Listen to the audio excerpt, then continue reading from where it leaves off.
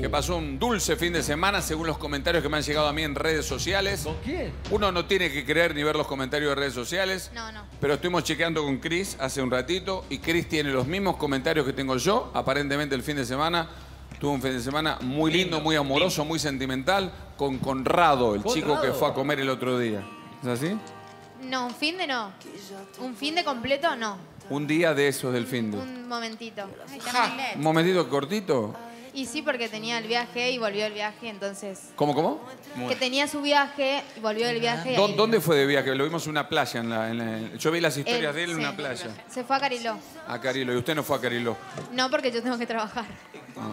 Pero le dijo, aunque sea venite a Pinamar y despistamos uno está al lado, no. No, yo soy de la vieja escuela. A mí me gusta ir muy despacio.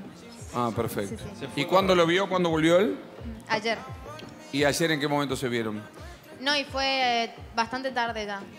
Que es bastante tarde para usted. Y 9, 10 de la noche. 9, 10. ¿Y qué hicieron? bueno. ¿Qué hicieron? Comimos unas hamburguesitas. Comieron unas hamburguesitas. Sí, y después salimos a caminar a buscar birras.